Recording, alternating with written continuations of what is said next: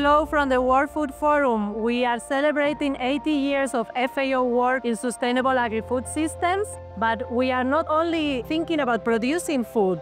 Here we are very concerned about the environmental impacts of fast fashion, and green design is all about that. We have products coming from our projects in Pakistan. We are using the waste that generates the production of banana to do this banana fiber. And with this you can see we can make textiles, bags, but we are also helping fishers to use the discarded fish skin to make this leather.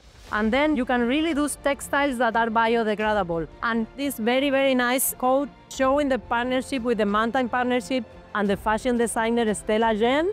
And we are also working on FSC certified forest products, for example. We are also here doing some slow fashion, and our colleagues can take a mindfulness break and do some knitting and we are visioning with young people how do they see a bio-based future. There are so many good ideas coming. I would like you to engage with us. What does your outfit say about you and what is your outfit for impact? So please engage with us in social media.